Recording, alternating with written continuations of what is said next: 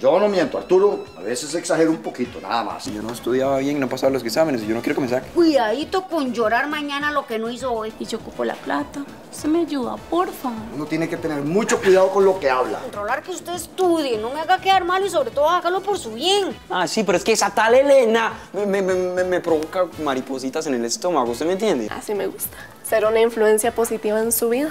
Recuerde, su cita es con la pensión por su Teletica.